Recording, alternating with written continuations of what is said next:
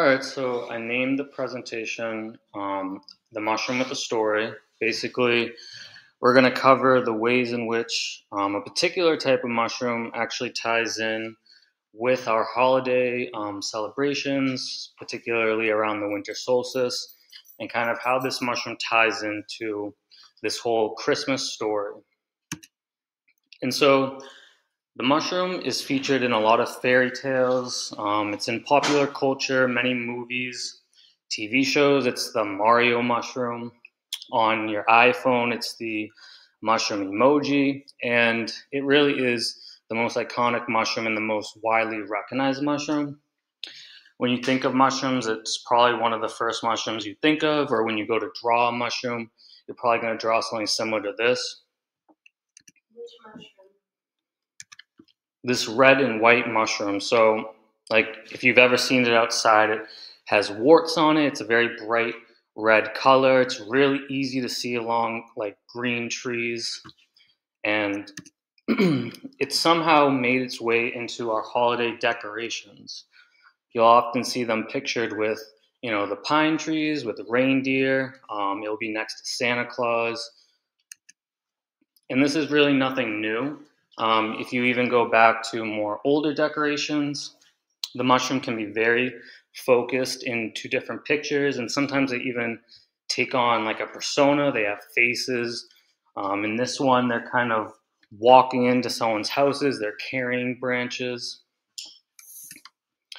Sometimes they're very heavily focused on the mushroom, and so we will see elves bringing them places. Um, in this other one, there's even a house that takes on the shape of the mushroom. They're sitting on the mushroom, using it as a table, and it's all the, it's obviously all the same mushroom. It's never depicted anything else. It's not a mistake that they're using this particular mushroom. So more mushroom houses, you know, people enjoying the mushroom, you know, jumping over it, happy around it. And so what is this mushroom? Because it's a real species of mushroom. It's called the Amanita muscaria.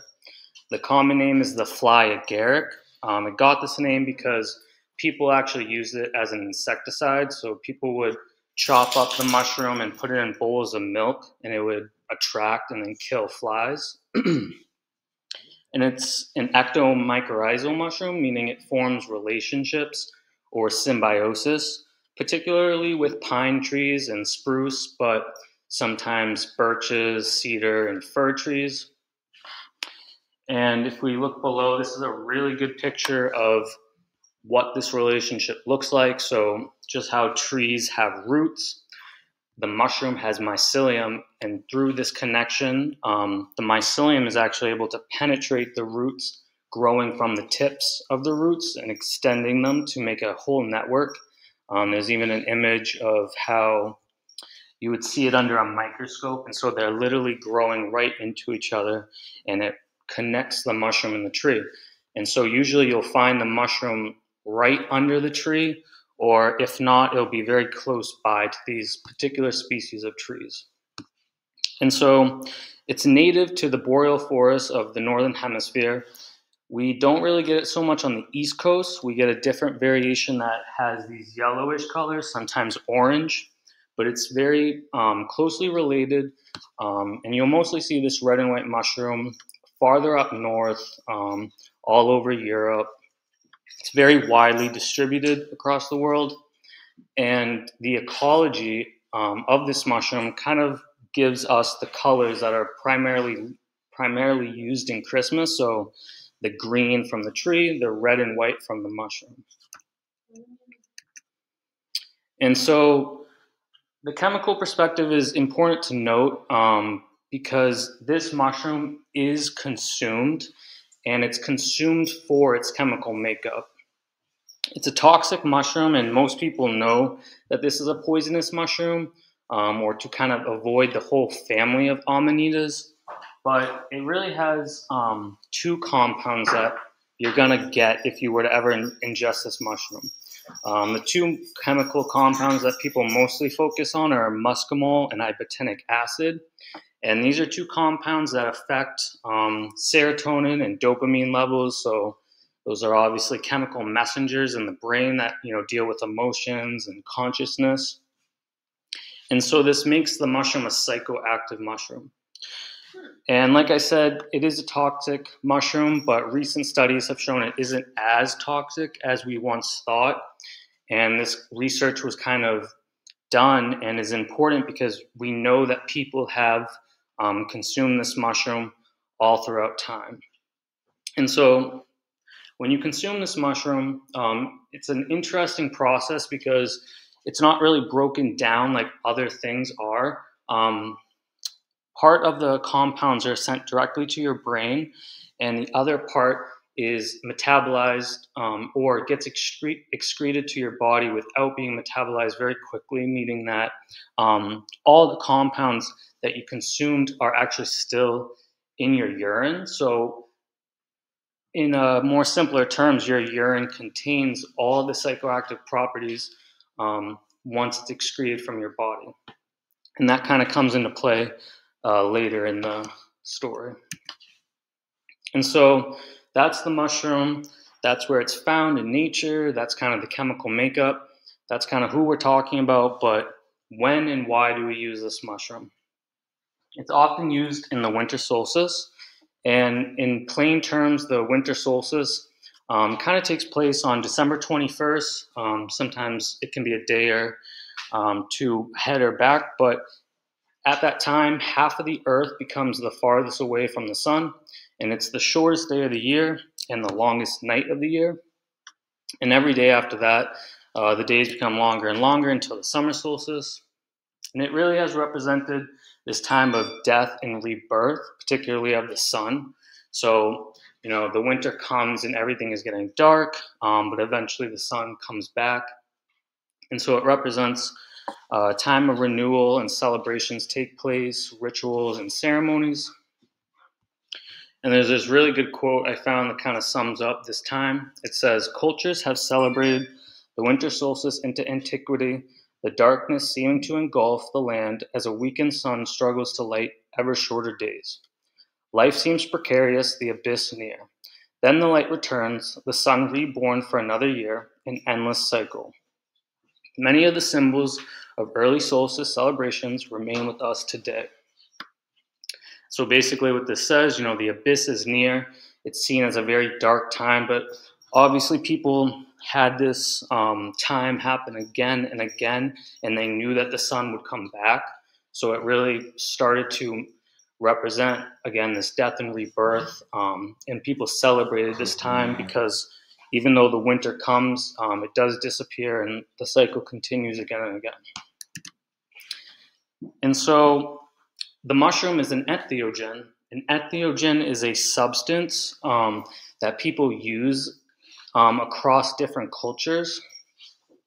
And so the Amanita muscaria, this red and white mushroom, has been a central part of these celebrations and ceremonies, um, mostly in Northern Europe and Asia but also in Canada. And it can date back as far as 4,000 years ago. And this term was developed by a group of scholars of um, mythology and ethnobotanists um, when they were kind of studying why people use this mushroom and how it's used. And they found that it was used mostly in religious or cultural, um, traditional um, settings. And so they wanted a word for different plants or mushrooms that have this big role in culture. And so the main reasons why groups use this mushroom are for sacred and magic activities, which is kind of what we're talking about today. But they also are used in recitals of epics and singing and um, during physical effort, um, hard work, um, and before heroic actions. The mushroom can give feelings of becoming very powerful or energetic so sometimes they're used um, before doing something with a lot of like that's going to take a lot of energy. But some of the sacred and magical activities that would take place during the winter solstice um, and that would be used during um, ceremonies with this mushroom are to communicate with souls of the dead, healing and treating ailments, overcoming obstacles or figuring out why something has happened, interpretation of dreams, foretelling the future, seeing the past, and visiting other places or worlds, also known as soul flight. Um, and that's um, a really big part of this mushroom. This picture we have here is actually of a seventh generation shaman um, of the Tungus tribe in Siberia. This is a more newer picture, but um, she is obviously carrying on the rituals of her tribe. Um, and we'll see that Siberia is one of the um, main places that this mushroom was used. And a shaman really is just a healer or someone that people go to to help them with all these different um, sacred activities. and so, what is soul flight shamanism? Well, this is a real central part to the use of the Amanita muscaria and across the groups that use them. So many groups in Asia um, and again Siberia, they see the universe as three parts that are all interconnected. So heaven above, the earth in the middle, and hell below. And this isn't obviously the only picture that you know depicts this type of um, universe, but it's a really good one because it kind of shows how the tree is the central path and there's many other ways to get around to these other planes of the earth if you will. You know there's the main tree that connects everything. There's all these little paths. Um, the branches i feel like represent more paths. And basically the way people view this idea of the earth um, it's something that is able to be traveled across and that's why it's connected. Um, they're all connected so you can get to each level and it's through this path that the soul of the shaman is actually able to travel during their journeys after they've taken the mushroom, because this is a psychoactive mushroom. So it obviously does have a large effect on the brain and your consciousness after you've taken it. And the shamans really take this mushroom and go on this journey to bring back knowledge, advice, wisdom. If people come to them and are looking to say, communicate with the dead or to heal a particular illness um, or they have questions, they kind of will ask the shaman or tell the shaman, you know, what is going on. And then it's kind of the shaman's role to go on this journey and kind of bring back um, guidance or advice. And so, who are some of the groups that use this mushroom? There's tons of them, but I just picked like three main um, tribes that are known to use this mushroom. And this research regarding the Amanita muscaria and this holiday story, these are kind of the main ones that people look at or talk about. So the Sami, uh, they're near the North Pole, or you know the modern day area of um, northern Norway, Sweden, and Finland. And this is you know, really where a lot of people, if we're talking about the Christmas story, where Santa Claus is from, the North Pole. And so it kind of is interesting that a group of people um, in that area are using this mushroom. And some particular beliefs that they had um, were that when the shaman took the mushroom, they actually ended up looking like the mushroom. So they would see, um, you know, this red, large character um, and sometimes the mush or the shamans would actually dress up like the mushrooms during the ceremonies to represent them. Uh, the shamans would travel on sleighs led by reindeer, and they would often visit people um, traveling this way to conduct the ceremonies. And again, uh, they were taking the mushroom to bring back this guidance and knowledge, and were often rewarded with food. Another big group is the Koryaks. So they're in northeast Siberia. And their tribe name, the Koryaks, actually translates to with the reindeer. So again, reindeer have a really large connection with this mushroom. Um, and the people also had a very important uh, relationship with the reindeer. And so around the 17th century, um, or actually, sorry, the 18th century, they were people traveling to Siberia, and they were really shocked when they discovered um, that these people were using the mushroom, especially in these ceremonial contexts. And there was a Swedish colonel who wrote a whole book detailing the mushroom eating habitats of the Koryak people. And so, throughout times, uh, dating back to ancient times, you know, 4,000 years plus, um, these people were consuming the mushrooms spiritually and recreationally. They dried the mushrooms. Um, they would dry as many as they could, um, but sometimes those without a supply actually resorted to dire measures of drinking muscaria infused urine. So that kind of ties into it. The chemistry people somehow um, figured out that either the urine of people who had eaten the mushrooms could be consumed or the urine of reindeer who had eaten the mushroom.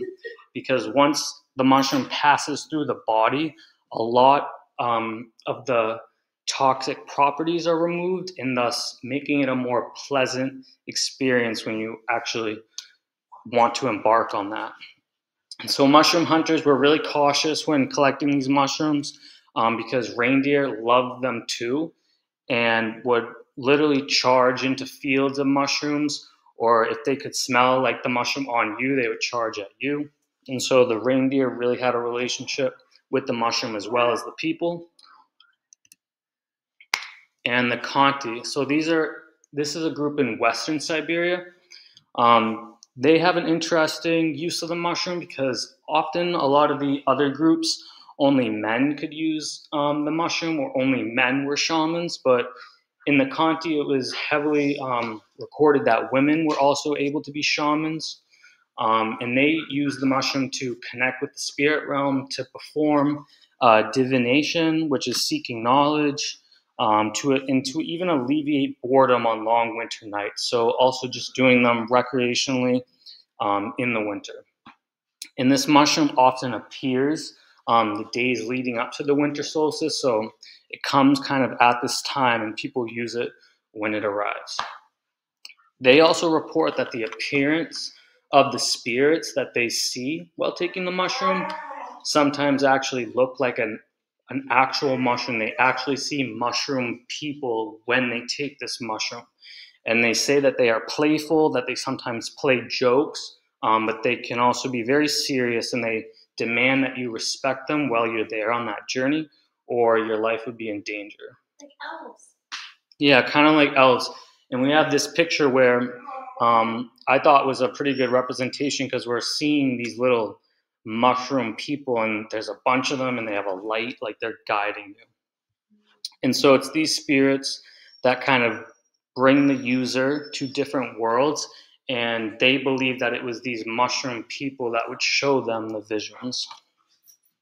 Uh, they were also reindeer herders, um, and they used dried amanita to keep up with the herd. So again, kind of gives you a lot of energy. And so, what does all this use of the mushroom um, have to do with the modern world celebrations of this time, and really the Christmas story? So the Christmas story, I mean, you can't really get away from it. Not everyone celebrates Christmas, but when you live um, in the modern world, you know, you go out, every store has Christmas decorations, um, usually in the center of towns and cities. You know, a lot of people celebrate Christmas and it's very, you know, it's just there every year. And there's some main elements that are always there. I mean, we have traditions surrounding this time. Um, we bring in pine trees into our house and decorate them. We put presents under the tree. We hang stockings above the fire. Um, and then we have this whole story of Santa Claus, a guy who travels on a sleigh with reindeer and brings presents. I don't think many of us ever really question why we're doing these things or how they kind of came to be. But the mushroom and these ceremonies can kind of help explain maybe a connection.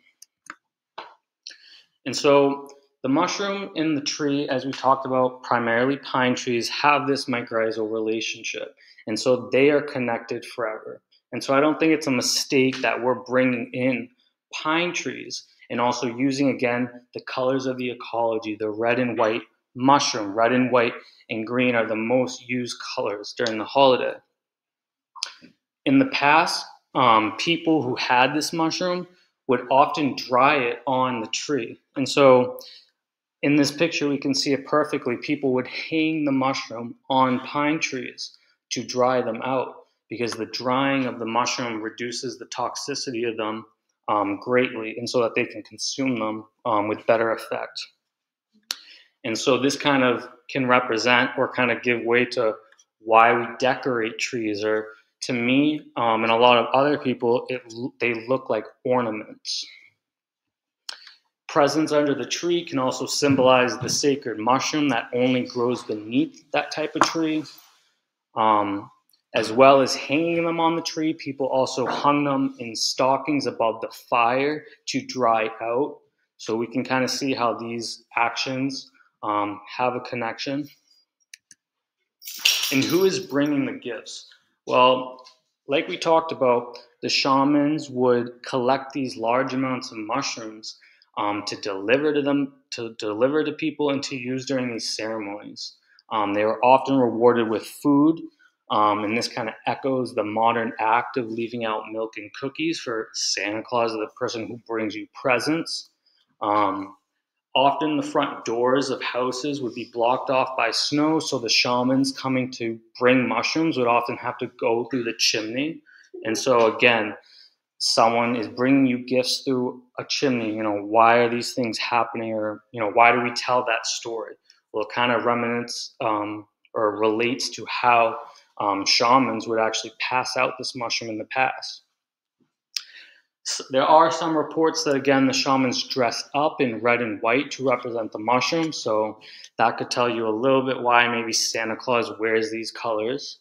Um, and in the ceremony, you know, shamans would give a lot of insight um, and guidance to people, which wasn't a physical present that we give today, but it was a type of gift giving um, because people were really relying on the shamans or relying on the mushroom to help them um, during this time or help them with different challenges they were facing. And then the whole flying reindeers thing.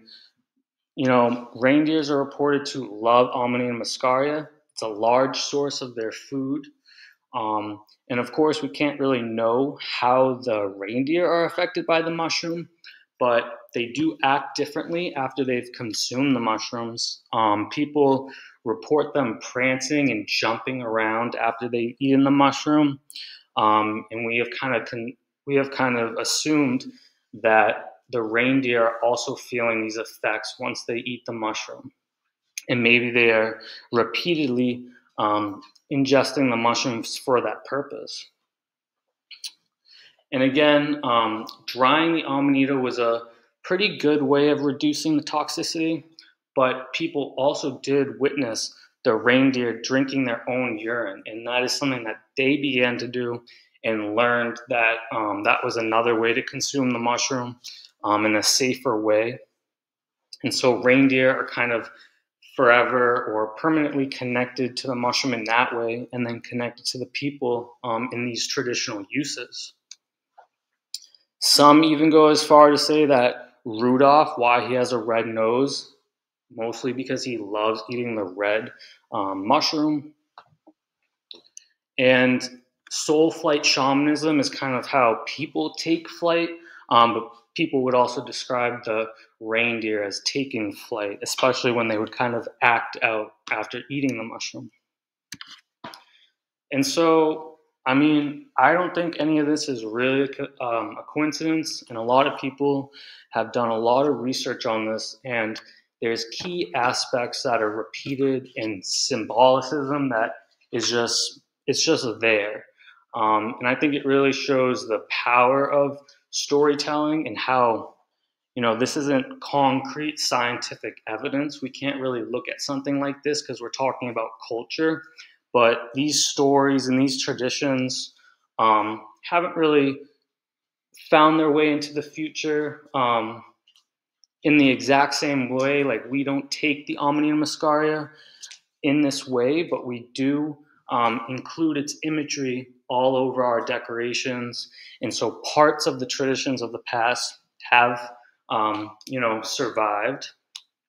And all this information is, you know, hands-on experiences of people and that is how they use the mushroom and that's why it has stuck around because it is a very significant mushroom with a lot of history to it really and obviously it's just a misunderstood mushroom. Like I said, everyone thinks it's just a toxic mushroom, but there is a reason why we continue to celebrate it. Um, and learning about it can really provide this valuable insight. And so these are some of my sources, um, different papers people have written, and different talks and stuff like that. So there's really no studies on like dosing with Amanita muscaria. That's why a lot of people like it's not a common digested mushrooms because there's really no background in the scientific studies. It's a lot of like just reports from people. Like in some of the research I was doing, listening to some of these um, people who still are carrying on the traditions of their tribe. Like they have their own ways. Like they'll say, you know, you can take one to two dried caps before you're starting to get to like uncomfortable, you know. So they have their own ways of dosing it. They also really prefer mushrooms that have not fully opened up, um, that are still really small. And so, you know, people have probably written about it. It's probably in some type of literature, but the dosing, I'm not aware of a paper that like dives into it.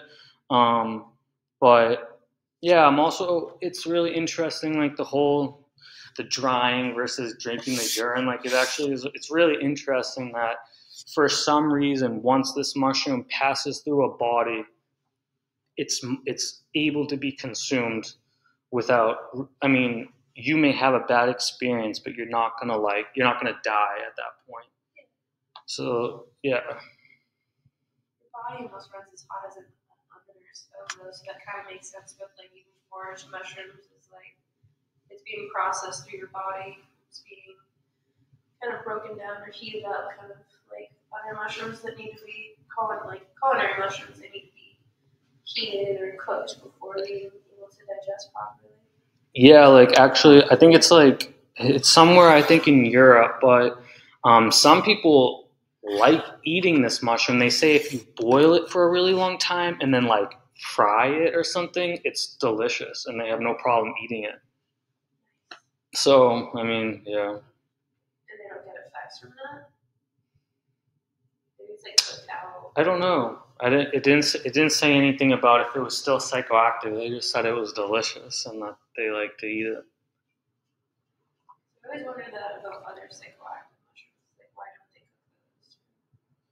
They just- Well, sometimes heat. Well, actually, probably. I mean, like if you think about psilocybin mushrooms, they say heat is not good. Heat destroys a lot. Sometimes it's not a significant amount, but does impact the potency in that sense. So. Same with like THC, you can only cook that stuff at like such a high temperature.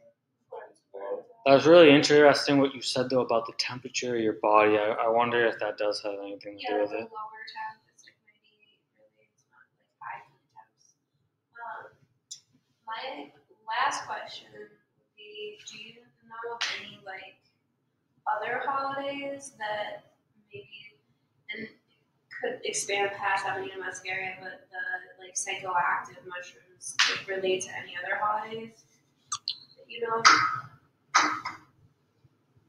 Any other holidays? Not that I can. Uh, not really any other holidays. Like I said earlier, like I think the amanita is also used in some Easter decorations. I've noticed, but that may just be the whole like fairy tale folklore type of thing.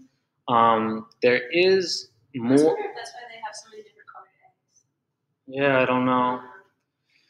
there is a more like I feel like it's it's a real big topic. It might be like sensitive to someone, but there is this whole research about, in part, sometimes the Amanita muscaria, but more so um, psilocybin mushrooms. How that connects to Jesus, and so obviously Jesus connects to Christmas.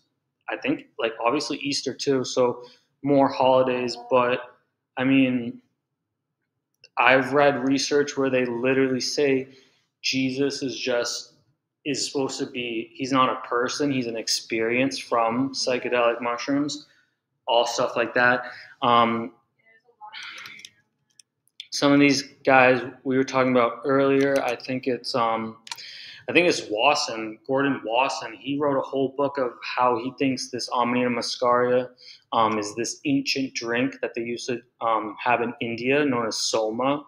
Um, so, I mean, all sorts of stuff. I mean, um, ethnomycology, the the study of you know mushrooms and culture. There's a bunch of really cool theories because um, you know mushrooms were like not only this mushroom. Like this is an interesting mushroom that's being used in ceremonial context. It's not as much talked about, but psilocybin mushrooms have been used in tons of um, ceremonies dating way back, especially like in Mexico. Um, so, I mean, real big history with the use of mushrooms um, for these reasons. Any other questions? Are you convinced? Is this a convincing story, or is it, or is it just, is it just a coincidence? Or Um, I mean, it's not necessarily something that I need to be convinced over. It's more of just celebrating the folklore. I mean, it's something Yeah. that's going to be very prominent continuing forward into the future because it has so much in the past. yeah, I mean, it explains a lot of the symbology wrapped around Christmas and around all like the uh, the fairy tale like portrayed here. Even it's like the gnomes, the elves, Santa Claus, the reindeer. Yeah, I think they did a All pretty good ties job. in, yeah.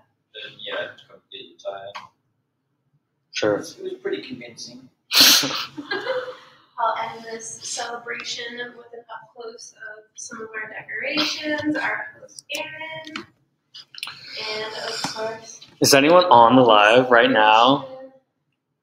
Uh, yes. Oh, hello.